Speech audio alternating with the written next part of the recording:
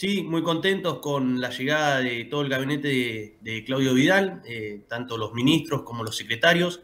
Eh, hemos tenido jornadas de trabajo sumamente productivas eh, que comenzaron a partir del día miércoles, jueves, viernes y se terminaron yendo gran parte de los funcionarios el día sábado.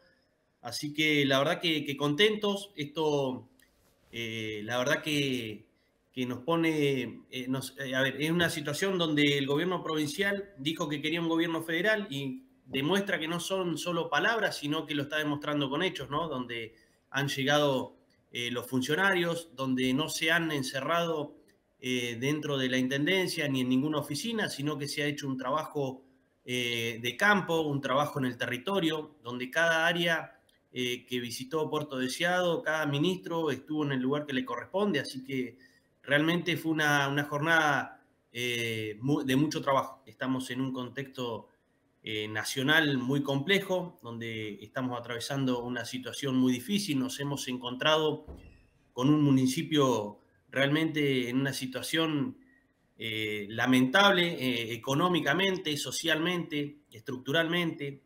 así que bueno, con muchísimo trabajo bueno, tema paritaria, ¿cómo, está Intendente? Fundamentalmente, si ya tienen previsto, se acerca el pago del medio aguinaldo, ¿cómo lo van a afrontar? Eh, ¿Ya lo tienen definido? Sí, nosotros eh, las paritarias, bueno, eh, después de un gran trabajo de todo mi equipo, mi gabinete, hemos llegado a un acuerdo. No fue una situación para nada fácil porque realmente el salario del empleado municipal viene sufriendo hace muchísimos años eh, un atraso importante, ¿no? Siempre eh, fueron perdiendo poder adquisitivo eh, año tras año.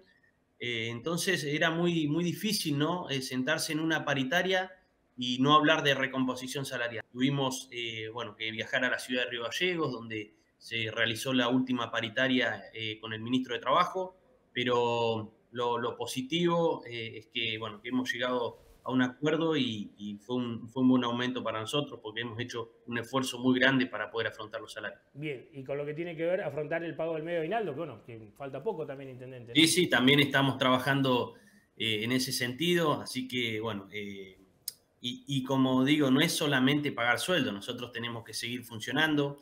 Eh, no solamente tenemos 1.500 empleados municipales, sino que tenemos 25.000 personas eh, que, bueno, que viven en Puerto Deseado y tenemos que seguir dándole respuestas.